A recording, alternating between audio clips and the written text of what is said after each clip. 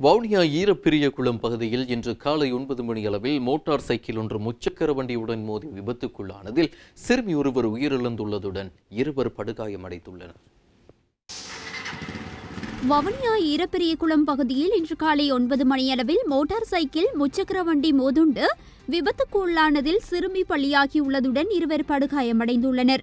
வவுனியா ஈரப்பெரியகுளம் பகுதியிலிருந்து வவுனியா நோக்கி பயணித்த மோட்டார் சைக்கிளும் வவுனியா நகரிலிருந்து ஏ நைன் வீதியூடாக பயணித்த முச்சக்கர வண்டியும் ஈரப்பெரியகுளம் பகுதியில் மோதுண்டு விபத்துக்குள்ளானதில் சிறுமி ஒருவர் பலியானதுடன் இருவர் படுகாயமடைந்த நிலையில் வவுனியா மாவட்ட பொது வைத்தியசாலையின் விபத்து பிரிவில் அனுமதிக்கப்பட்டுள்ளனர்.